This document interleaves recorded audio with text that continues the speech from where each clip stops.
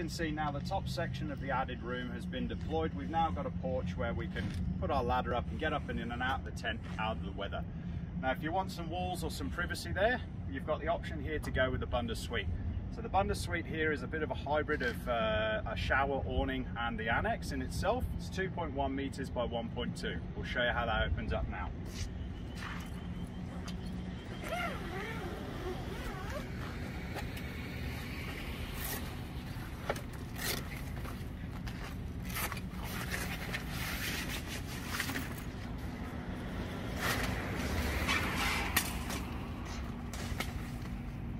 Once the Suite walls are open, come around and Velcro those into the add-a-room roof.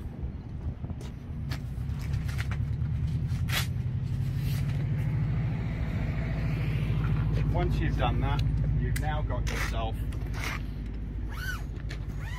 a nice private area so as to change and obviously gain access into the tent.